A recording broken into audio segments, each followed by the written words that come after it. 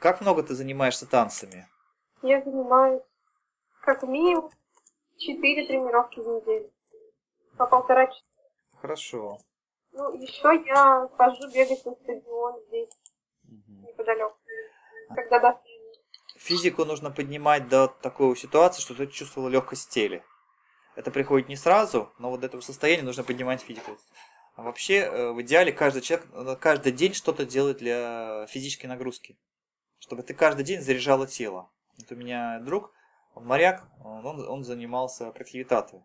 Вот он каждый день этим занимался. Ты день отработал, у него, он моряк, у него 12-часовой рабочий день, тяжелый рабочий день. Он говорит, я с утра позанимался, у меня есть энергия. День прошел, я устал. Я пришел, сел, опять э, занимался практивитатом, восстановил энергию.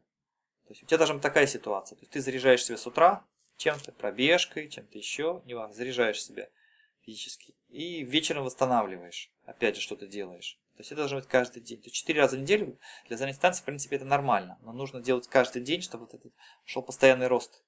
Потому что бывают дни, например, когда нагрузка повышенная.